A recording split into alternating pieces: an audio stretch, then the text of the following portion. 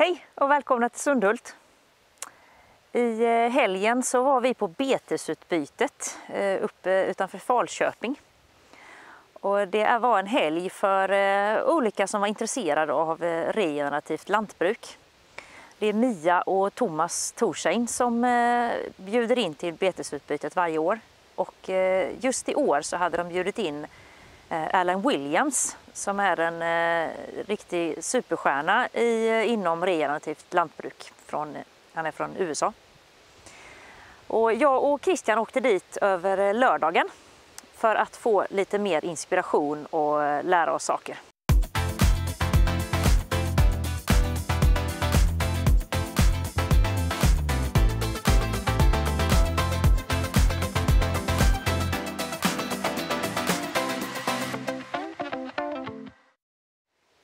Mycket av det som Erland pratar om, det kände vi ju igen. Att vi har sett på Youtube och hört i andra sammanhang. Men eh, en hel del eh, har man ju kanske glömt bort eller att det är lätt att man eh, inte tänker på det i det dagliga arbetet.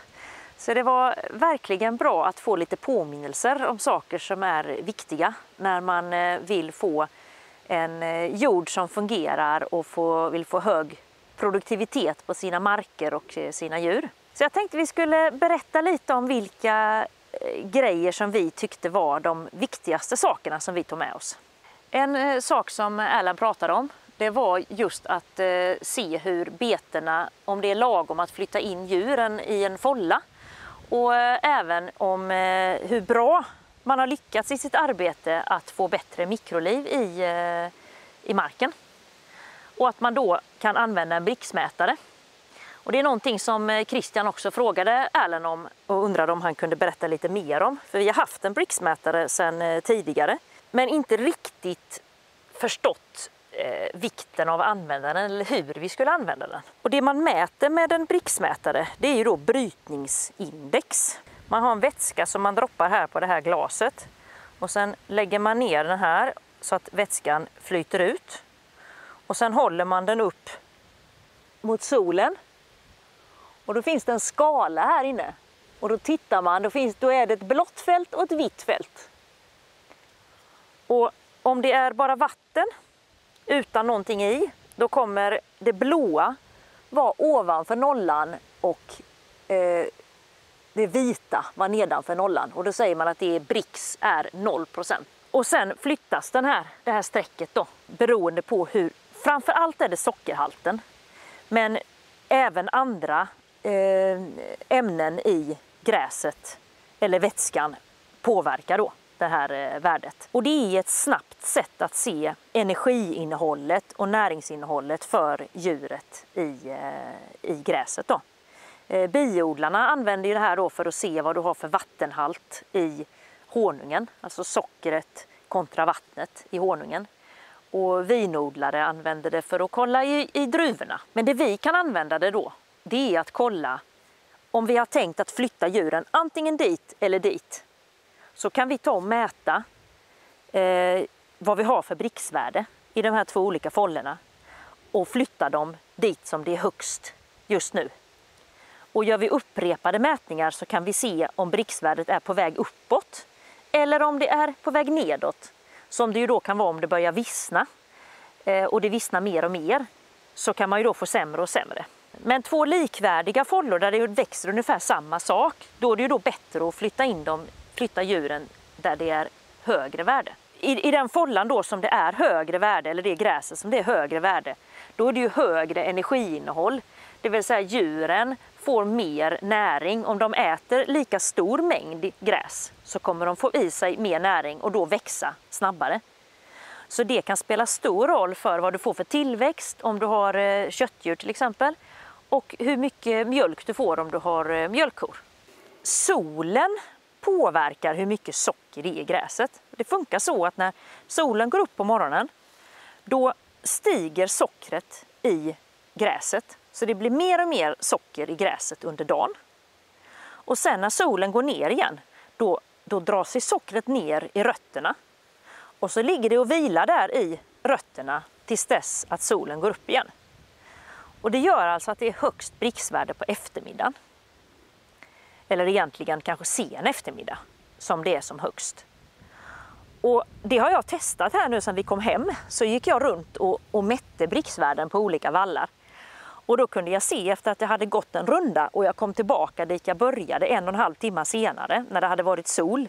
Då var bricksvärdet 2% högre än vad det var från början när jag tog samma, eh, samma typ av gräs. Och det kan vi då använda oss utav. Och det är en sån sak som vi har lärt oss för några år sedan och sen kanske in, inte tänkt på att det spelar roll.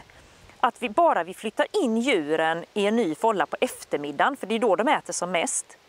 Bara genom att göra på det viset så kan vi få högre tillväxt på djuren. Och det finns ju då alltså de i, eh, som har mätt det här. Och då har de kunnat se att bara genom att förändra när de flyttar djuren, om de har dagliga flyttar då, så blir det ju mest effekt. Och bara genom att flytta det från morgon till kväll så har de då fått eh, en pound per dag tillväxt bättre. Så det är alltså ett halvt kilo tillväxt bättre då. När djuren kommer in i en ny folla, då är de ju eh, kanske lite hungriga.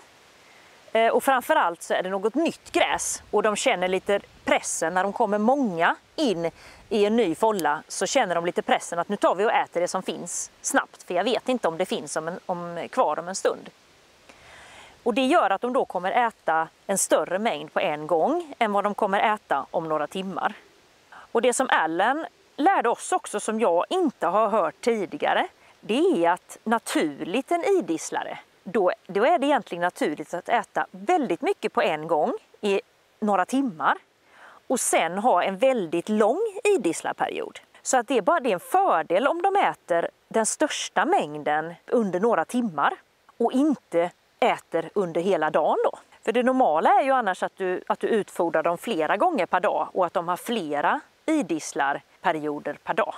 Men att det då är mer naturligt för dem egentligen att äta väldigt mycket under några timmar och sen ha en extra lång idisslarperiod. Nu är det ju så att när de går på bete så har de ju möjlighet att äta även sen. Men att det då, genom att du flyttar dem vid samma tid, så får du mer den här eh, naturliga beteendet så som det var på prärien en gång i tiden. Då. Det jag gjorde när vi kom hem, det var att på den här lilla åken här där vi står, då har vi haft hönsen gående. Så vi har ju väldigt olika rutor här då efter hur hönsen har gått och hur länge sedan hönsen var här. Och då gjorde jag så att jag gick från ruta till ruta här, mätte bricksvärdet och då kunde jag ju se hur bricksvärdet ökade ju längre ifrån som djuren har gått här. Utom i en ruta där de fick gå lite längre. Det var innan solskensdagen. Då, eh, då hann vi inte med att flytta dem den dagen som vi hade tänkt oss utan de gick ett par dagar till. Vilket gjorde att det gräset blev mer hämmat. Och där ligger det då efter i bricksvärde jämfört med follorna intill. Och sen mätte jag även då på vissa ställen där, där hönsen inte alls har varit för vi flyttade väck dem för vi ville få chans att, att skörda här en gång till.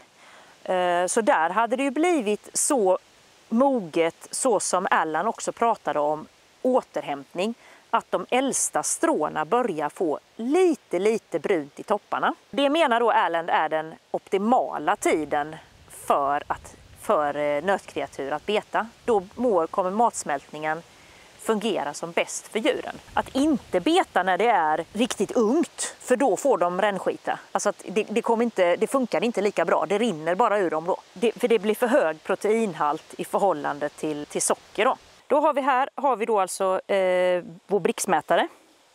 Och den som vi har den eh, är temperaturkompenserad. För eh, annars så kan det alltså spela roll vad det är för temperatur men denna ska ta hänsyn till det.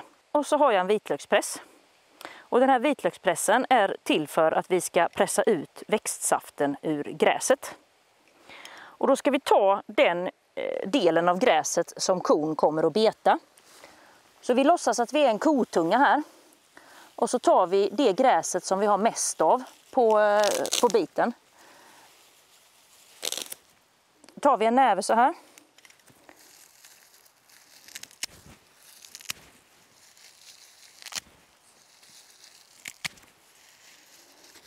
Nu behöver vi få sönder cellväggarna i gräset för att få ut vätskan. Och det kan man göra genom att rulla gräset så här i handen. När man märker att gräset blir så här lite mjukt och gosigt, då lägger vi det i vitlökspressen. Och nu fick jag ganska mycket med mig här. Och en sak som Allan lärde oss, för att inte man ska ta sönder pressen, så kan man ta och pumpa så här. Istället för att bara trycka. För då är det väldigt lätt att man tar sönder det, särskilt om pressen är av lite dålig kvalitet. Christian har haft sönder någon tidigare, så detta är en ny som vi har köpt. Så nu tar vi och droppar på bricksmätaren. Och sen lägger vi ner den så att det eh, fördelar sig ut på glaset här. Och sen ska vi gärna ha lite sol att titta mot. Nu är det så att den här, just denna bricksmätaren som vi har, den har en liten lampa där som man kan eh, använda istället. Men eh, har man sol så går det bra ändå. Och då ser jag ett blått fält och ett vitt fält. Och där gränsen emellan är, det är hur många procent bricks. Och nu har jag 5 procent när jag ser där på detta gräset. Den här eh, vitlökspressen är eh, lite fiffig. Men när man ska tömma den, då bara trycker man upp så här och så kan man lätt ta ut den. Och så kan man mäta på nytt. För på den här vallen så har vi framförallt två typer av eh, gräs. Och då är det intressant att mäta värdet även på det andra gräset som är ungefär lika mycket av.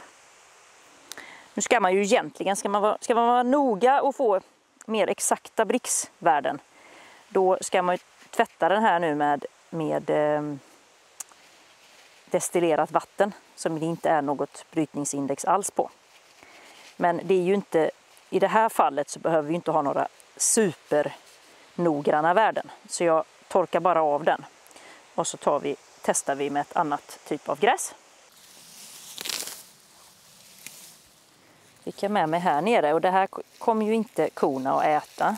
Så att det vi ska ha är ju det som som korna skulle eh, beta. Om vi nu ska jämföra hur de skulle beta när de kom in här. Då ska vi ha den övre halvan. Det som eh, Allen beskrev för oss också, det är att man tar ett. Om man har flera olika typer av gräs och vill kolla så ska man ta ett gräs i taget. För då, eh, sen kan man ju göra en uppskattning av procent andel på hela alltet. Men det är svårt om man, om man tar eh, att ta rätt utan en sak i taget.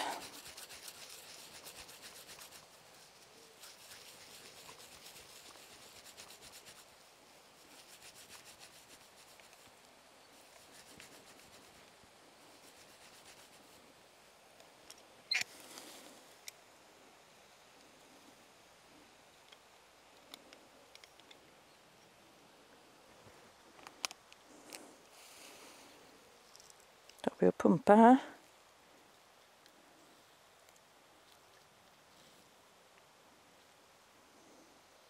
Har vi lampan tänd också?